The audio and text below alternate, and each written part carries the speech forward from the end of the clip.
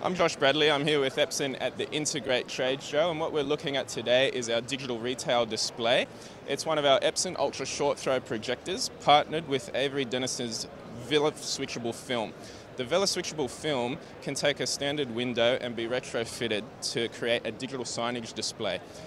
The window itself will be measured to size and the film will be applied from the rear as a transparent film. Our Epson Ultra Short Throw is mounted behind and projecting to, create that window into a digital retail signage display.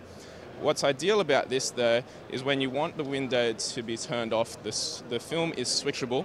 It can make a transparent display with product featured in there. So it's a retail digital signage display when you want it to be, and it's a transparent window when you don't need it to be. In a moment, what we'll see is this film will switch off, and we'll see the products that are featured behind there as a normal standard retail display. Clear window now. As we walk across here, what we can see is how it's set up.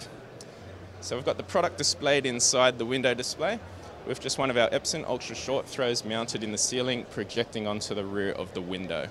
For more information, visit epson.com.au.